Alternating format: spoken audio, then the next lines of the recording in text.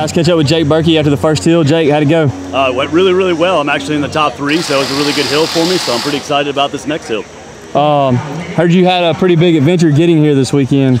tell uh, tell everybody about that a little bit. Yeah, you know, some of the things that we have to do to get to these events is incredible. On the way here, we were driving and we had a wheel break in basically in half. I mean, all the spokes and stuff broke, so we had to pull over the side of the road. Then we started looking and found some more wheels that were broken.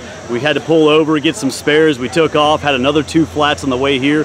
Uh, what's supposed to be about eight and a half hours ended up taking us 22, so it was one heck of an adventure. Dang, that's all part of it though, man. So oh. what's your what's your strategy with this big wall right here? Uh, this big wall, I don't think it's going to be too bad. Um, and we just basically try to hit it, but to keep the tires on the ground without actually skying it out. Uh, there's a tree right in the middle of the course, so uh, I'm trying to go fast and not hit that tree. All right, good luck, man. Appreciate, Appreciate it. it.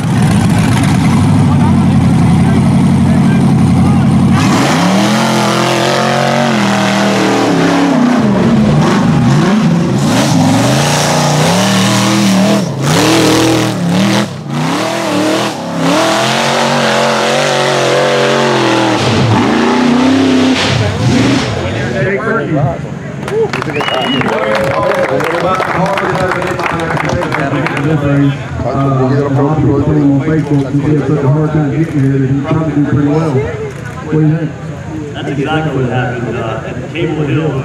I pretty much got snapped out of me, broke up the motor, uh, blew out a piston. I didn't like the rear suspension, so I rebuilt the rear suspension and had to tackle that motor. And I'll tell you what, it was a difficult thing to get here. We, we spent a lot of nights with just four hours in the bed and getting up and working all day. Uh, it's been a, it's been a challenge for me for sure. Well, you said something about the drive here. It was supposed to be eight hours on the GPS, but you took the long way around, took 22 hours or? Yeah, it took us uh, 22 hours. supposed to take about eight and a half to get here. Um, on the way, we felt the vibration pulled over. We had two wheels on my tow truck that were broken.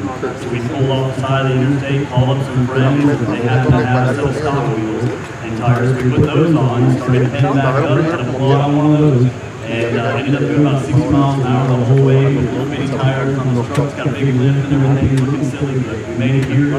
This right here makes it worth every penny we did. I'm going to a few colors that people say presents this full day. You do well. It worked out for you. Congratulations. Thank you, sir. You got any sponsors you want to talk about?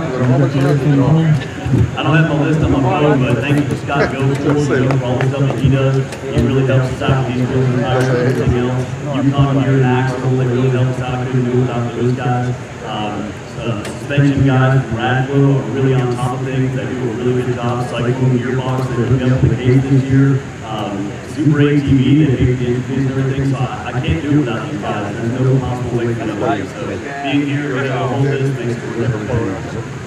Good deal. Woo! Good job. There it is. I'm glad it's still cold.